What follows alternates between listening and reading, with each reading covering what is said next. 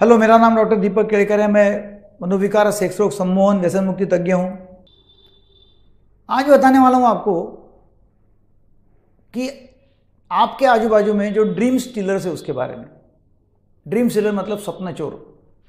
आपके सपने चुराने वाले लोग।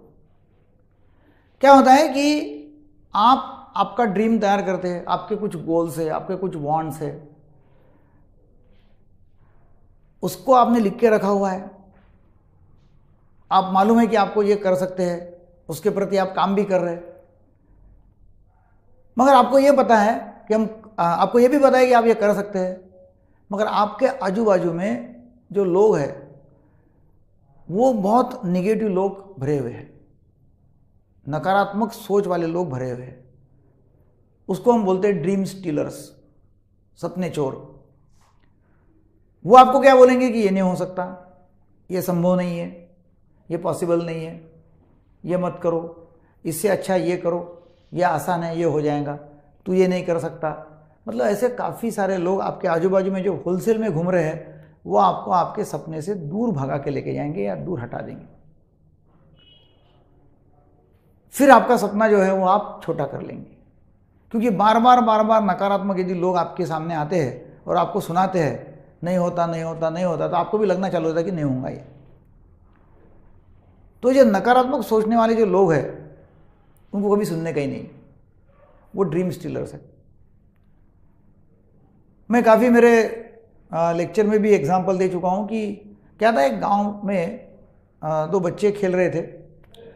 और खेलते खेलते खेलते खेलते, एक था, एक पाँच साल का और एक दूसरा था करीब करीब आठ, नौ साल का, दस साल का।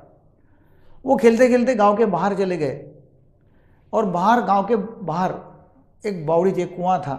काफ़ी सारा उसमें पानी था और खेलते खेलते क्या हो गया कि वो बड़ा वाला जो बच्चा था, काफ़ी मोटा सा था वो तो वो अंदर गिर गया, नीचे गिर गया बावड़ी में, कुएँ में गिर गया। तो छोटा वाला जो था, पाँच साल का, वो चिल्ला रहा, चीख रहा कि भाई बचाओ बचाओ बचाओ, मगर वो कुआँ गाँव के बाहर था, उनको कोई बचाने वाला था नहीं। तो जब उसको दिखा कि कुछ नहीं है तो उसने तुरंत वहाँ एक बकेट थी, उसको रस्सी बाँध लिया और वो बकेट नीचे अंदर छोड़ दिया कुएँ में। वो जो नीचे गिर गया था, उसने वो बकेट को पकड़ लिया।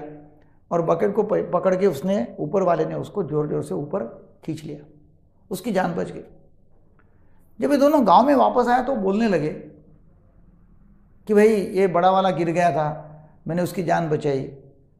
तो गाँव के जो लोग थे, उनके घर वाले थे, बोले, कुछ तो भी बक रहे ऐसा हो ही सकता नहीं कि छोटे वाला बच्चा इतने बड़े वाले बच्चों की जान कैसे बचाएगा? वो तो बहुत हिफ्टी था, उसको कैसे बाहर निकालेगा? तो वहाँ एक व्यक्ति खड़ा था, काफ़ी बूढ़ा सा व्यक्ति।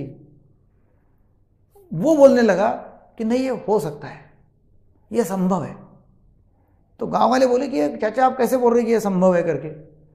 बोले, ये इसलिए हो सकता है कि छोटे वाले को ऐसा कोई बोलने वाला नहीं था कि तू ये कर नहीं सकता, तू ये कर नहीं सकता। होता क्या है कि हम तो फुल्ली सेल्फ एक्सप्रेस्ड है, हम तो कुछ भी कर सकते हैं, हमारी चाहत भी बहुत है कुछ करने की। मगर हमारे आसपास में जो लोग घूम रहे हैं, जो बोलते कि तू ये कर नहीं सकता तो वो हम, हमको पीछे खींचते हैं।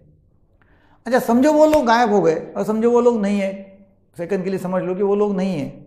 तो और कोई व्यक्ति जो अपने कंधे के ऊपर बैठा हुआ है, वो है आप खुद। मैं ये नहीं कर सकता, मुझे ये संभव नहीं है, मेरे से ये होगा नहीं। मैं तो बहुत छोटा हूँ, मैं तो बहुत गधा हूँ, मेरे को कोई अकल नहीं है। मेरा तो लक ही ख़राब है। ये बहुत बड़ा काम है। मैं तो फेलियर हूँ। ऐसे काफ़ी सारे जो विचार अपने मन में चालू रहते हैं, वो भी विचार अपने को पीछे खींचते हैं। तो आप, आपके विचारों से भी प्रभावित न होते हुए और लोगों के विचारों से भी प्रभावित न होते हुए आपको जो चाहिए, वो आपने सामने रख के, यदि वो ड्रीम स्टीलर्स को ना पूछते हुए ड्रीम स्टीलर का न मानते हुए, उनके लिए बहरा होना पड़ता है। यदि आपको कुछ करना है ना तो आपको बहरा होना पड़ेगा। सुनना नहीं है लोगों की।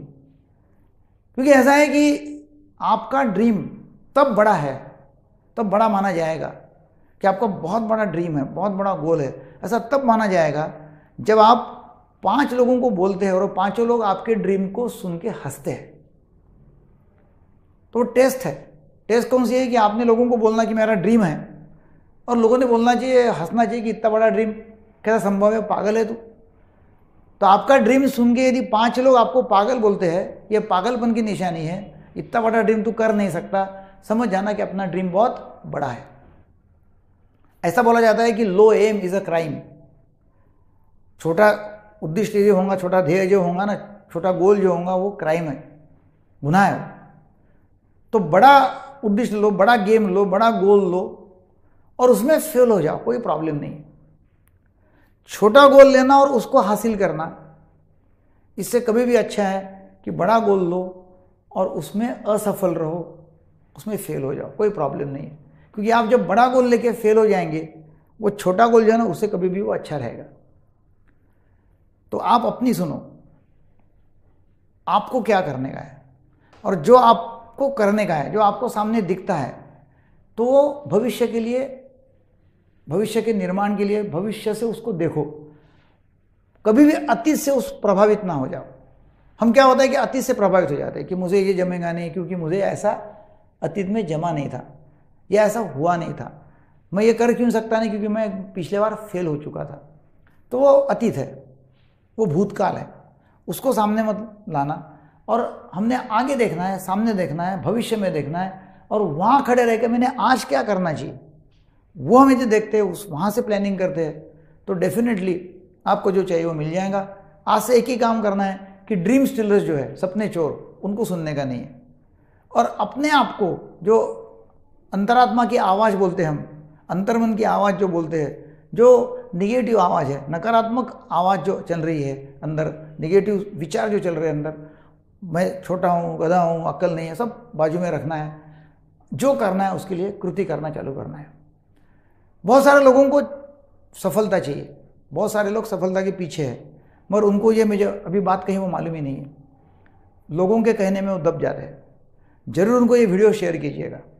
और ये वीडियो शेयर करेंगे तो उनको पता चल जाएगा कि वो कहाँ अटके हुए हैं। वो बड़ा गोल क्यों नहीं हासिल कर कर सकते हैं तो तो आपको अच्छा लगा तो ज़रूर ये सब्सक्राइब करो, आपके व्हाट्सएप ग्रुप के ऊपर शेयर करो फेसबुक के ऊपर शेयर करो। Thank you very much